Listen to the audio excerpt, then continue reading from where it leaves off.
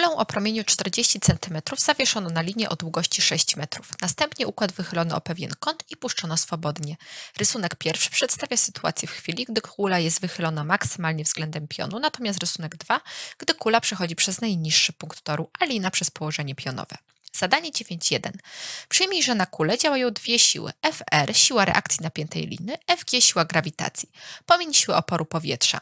Analizę przeprowadź w układzie odniesienia związanym z Ziemią i przyjmij, że jest on inercjalny. Na rysunku drugim, czyli w chwili, gdy kula przechodzi przez najniższy punkt toru, dorysuj wektory tych sił wraz z ich oznaczeniem. Zachowaj relację większy, mniejszy, równy między wartościami sił i zapisz poniżej tę relację. Wstaw jeden ze znaków większy, równy, mniejszy. Żeby sobie to narysować w odpowiedni sposób, musimy się zastanowić nad tymi dwiema siłami. No, prostą sprawą jest rozważenie, że siła grawitacji to będzie ta siła, która będzie działała do dołu, natomiast siła reakcji napiętej linii będzie działała do góry. Tylko jest pytanie, jaki jest wzajemny stosunek tych dwóch sił. Jeżeli popatrzymy się na wahadło, jak ono ma się zachowywać, no to tak, ono jest najpierw odchylone o pewien kąt, następnie tutaj się porusza, dociera do punktu e, tutaj najniższego i ponownie się wznosi, tak? I porusza się po takim torze, który jest fragmentem okręgu. W związku z tym, jeżeli jesteśmy w układzie inercjalnym, no to powiemy, że te siły, które działają tutaj na e, kulkę, się nie równoważą, ponieważ obserwujemy, że istnieje przyspieszenie dośrodkowe. I to przyspieszenie dośrodkowe jest skierowane tutaj do środka, tak? E, I z tym przyspieszeniem dośrodkowym jest związana siła, siła dośrodkowa, która jest tutaj siłą wypadkową.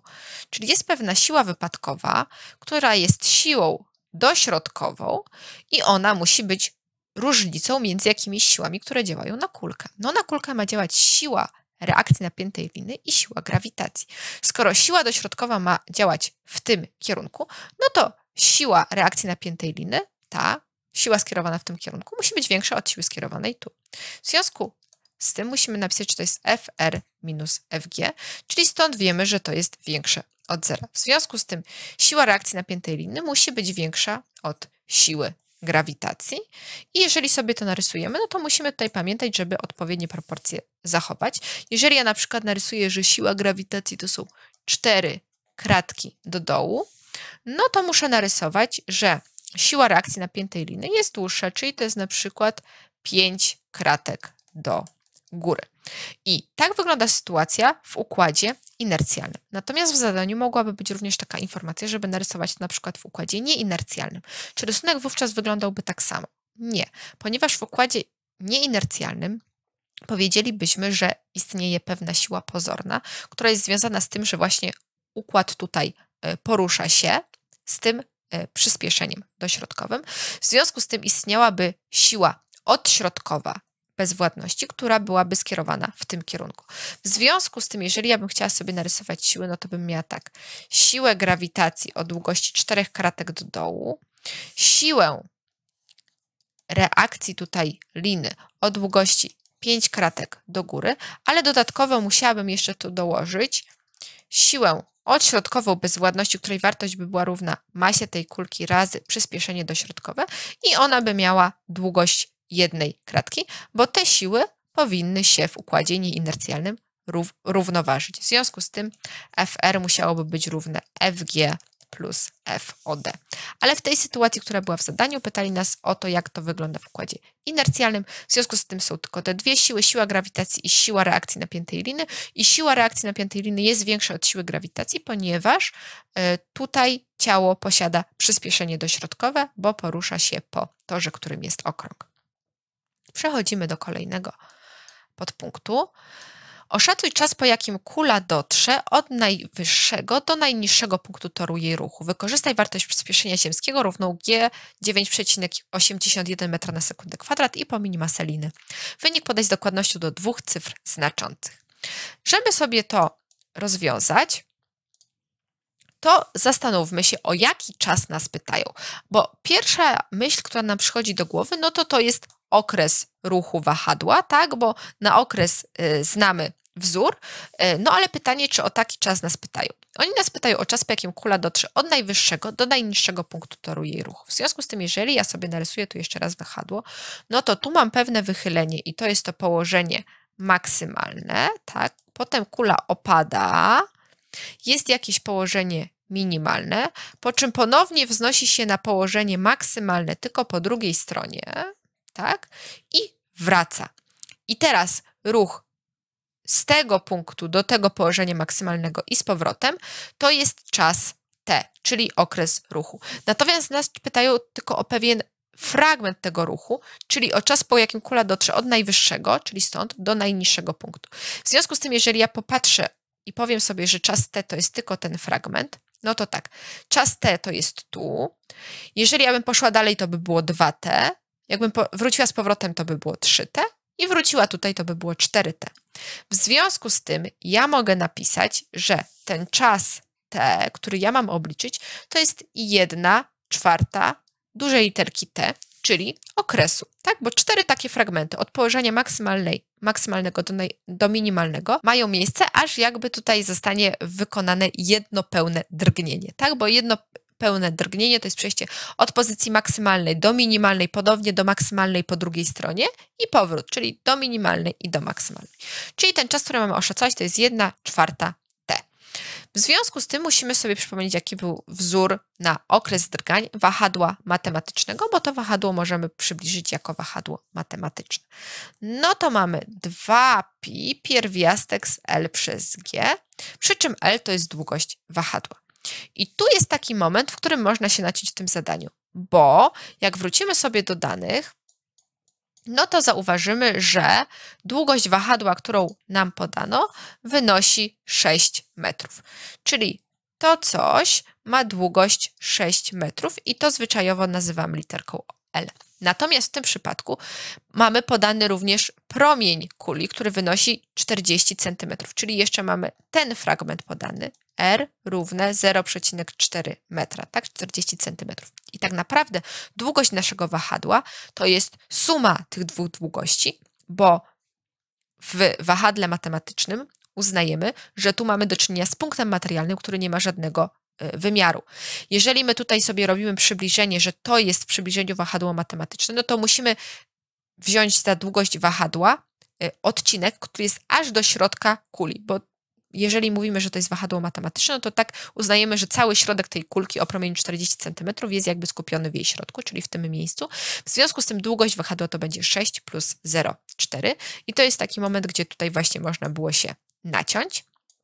Ale skoro to wiemy, no to widzimy, że w tym naszym wzorze musimy sobie tu dopisać plus r. Tak, przy czym L jest równe 6 metrów, a R jest równe 0,4 metra. I teraz mamy już wszystkie dane, które możemy podstawić, żeby obliczyć ten czas, o który nas pytają. Ten czas T jest równy 1 czwarta razy duża literka T, czyli to 2pi L plus R przez G pod pierwiastkiem. To się skróci, będzie 2, tu będzie 1. W związku z tym mamy pi drugich razy L plus R przez G. I to jest moment, kiedy już możemy podstawić sobie dane pi drugich razy L plus R, czyli 6 metrów plus 0,4 metra przez 9,81 metra na sekundę kwadrat i to pod pierwiastkiem. Patrzymy na jednostkę. Tu są metry, które z tym metrem się skrócą a ta sekunda kwadrat z mianownika mianownika pójdzie tutaj do licznika. W związku z tym będziemy mieć pi drugich, 6 plus 0,4 daje 6,4 przez 9,81 i ta sekunda kwadrat, tak jak mówiłam, poszła do licznika i jest pierwiastek. W związku z tym widzimy, że pierwiastek z sekundy kwadrat to będzie po prostu sekunda i zastanawiamy się tutaj, jaka liczba wyjdzie. To liczymy. 6,4 podzielone przez 9,81 pierwiastek z tej wartości, następnie razy pi i podzielić to przez 2. Wyszła nam następująca liczba i teraz jak ją zapisać? Ano tutaj mamy bardzo konkretnie powiedziane jak, bo mamy wynik podać z dokładnością do dwóch cyfr znaczących. Uwaga, dwóch cyfr znaczących, a nie dwóch miejsc po przecinku. Tak, to jest kolejny moment, kiedy możemy się zaciąć, naciąć dwa, dwie cyfry znaczące to będzie jedynka i ta dwójka. Więc zastanawiamy się, czy tę dwójkę należy zaokrąglić, czy nie. Ponieważ tu stoi szóstka, to widzimy, że zaokrąglamy dwójkę do góry, czyli będzie 1,3. 1,3 sekundy to jest czas, po jakim kula dotrze e, od najwyższego do najniższego punktu toru ruchu.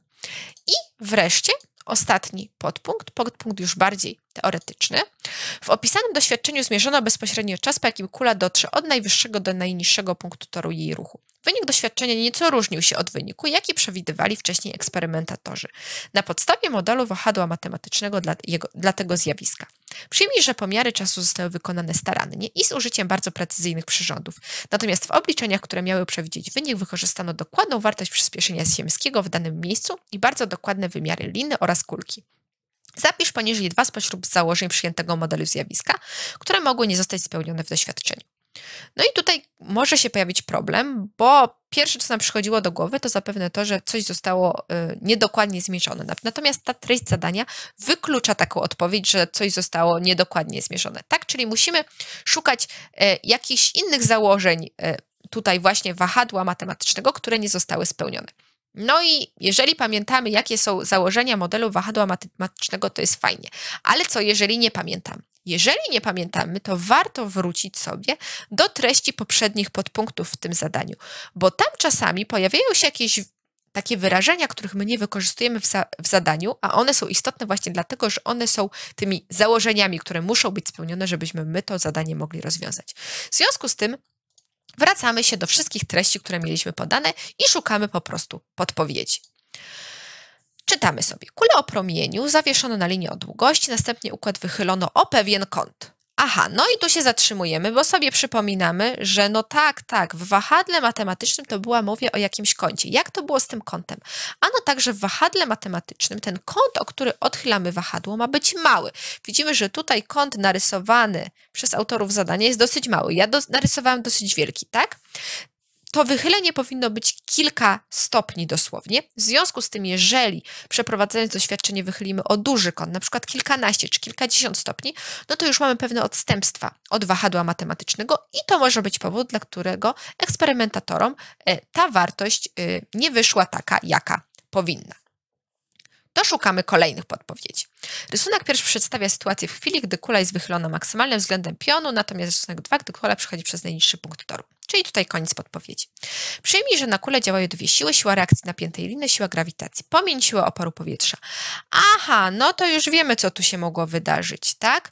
No my założyliśmy, że działa tylko siła reakcji napiętej liny i siła grawitacji, ale tak naprawdę, jeżeli doświadczenie nie było wykonywane w próżni, to jest bardzo duża szansa, że działała siła oporu powietrza. I teraz, jeżeli ta siła oporu powietrza yy, była znacząca w porównaniu do siły grawitacji, no to może się okazać, że ta siła oporu powietrza właśnie e, zakłóciła tutaj wyniki. Czyli to może być kolejny czynnik, e, który jest odstępstwem od e, założenia wahadła matematycznego, gdzie zakładamy, że działa tylko siła grawitacji i siła reakcji napiętej liny. E, patrzymy, czy tu mamy jeszcze jakieś podpowiedzi. Tutaj mamy tylko powiedziane, że analizę przeprowadzi w układzie odniesienia związanym z Ziemią, przyjmij, że jest on inercjalny, czyli żadnych podpowiedzi.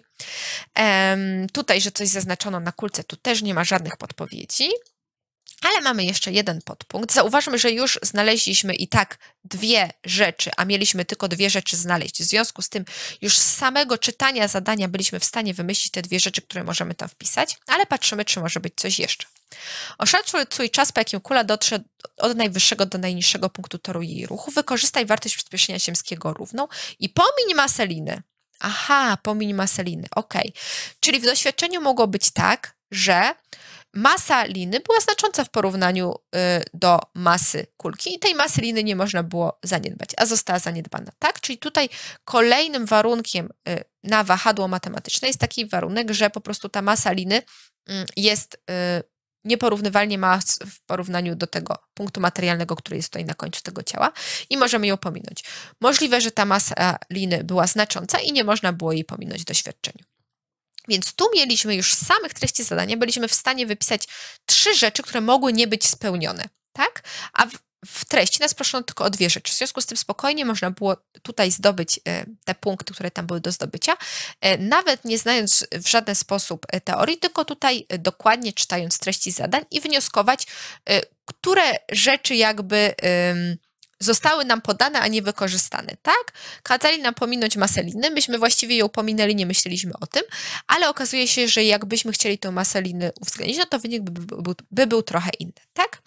No i w tym momencie, jeżeli y, jeszcze ktoś y, zna założenia teoretyczne tutaj do wahadła matematycznego, no to mógłby dopisać jeszcze inne powody, na przykład takie, że nić, której używamy, ma być nierozciągliwa, więc jeżeli w doświadczeniu została użyta nić rozciągliwa, no to mogło być to powodem błędów.